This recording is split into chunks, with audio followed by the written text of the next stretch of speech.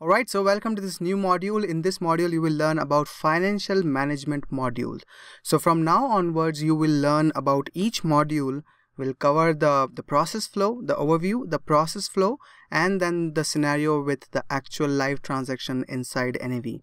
Right. So in this financial management module, there is no specific process flow.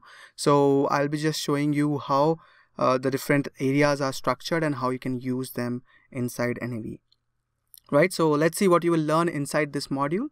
So first thing you will learn is about chart of accounts. So you will learn what is chart of accounts and I'll show you how the chart of accounts look like. Then we'll talk about the cash management, then fixed assets.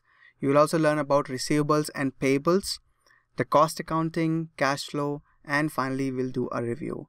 So this is a quick video explaining what you will learn. But in the coming videos, I'm going to explain you each one in detail with live demo. So that's it for this video and I will see you in the next video tutorial.